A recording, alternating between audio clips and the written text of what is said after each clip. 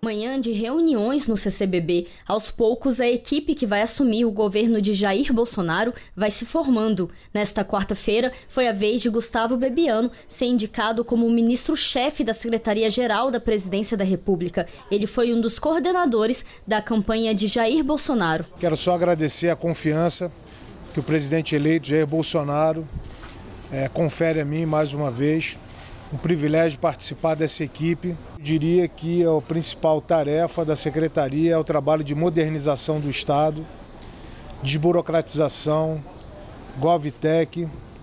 É, talvez pela primeira vez o governo federal olhando para a sua atividade fim, que é servir bem a população. Outro nome que vai compor a equipe é o do advogado André Luiz de Almeida Mendonça. O anúncio foi feito pelo Twitter do presidente eleito. André Luiz vai assumir a Advocacia Geral da União. O ministro Onix Lorenzoni informou que, além dos ministros, 14 equipes técnicas trabalham no governo de transição e elaboram projetos para cada pasta. Ele também informou que estão trabalhando para construir uma estrutura mais enxuta, com menos de 20 ministérios.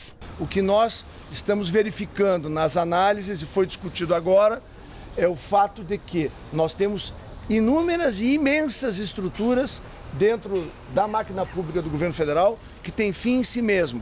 Ela apenas alimenta a burocracia. Não, não tem nenhuma finalidade de servir a, a população. Então, isso nós vamos com paciência, humildade, muito trabalho, revisar e até é, meados de dezembro nós vamos ter o desenho ministerial concluso e, as, e os enxugamentos que virão a partir da redução de secretarias, diretorias e outras funções que acabam apenas gastando dinheiro público e servindo muito pouco ao, ao cidadão brasileiro. Ainda pela manhã, o presidente eleito Jair Bolsonaro participou de encontros com os embaixadores do Líbano, da Rússia e de Portugal.